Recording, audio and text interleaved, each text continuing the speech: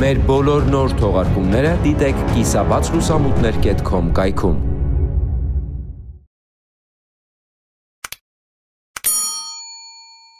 Մայրիկի մահից հետո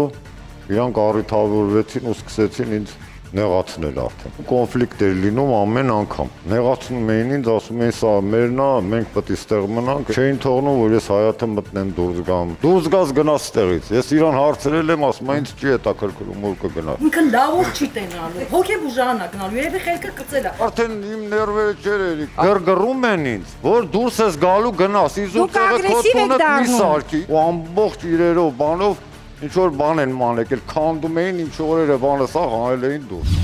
Նույն Բաքում դիտեք այսօր երեկոյան կիսաբաց լուսամուտներից ներս։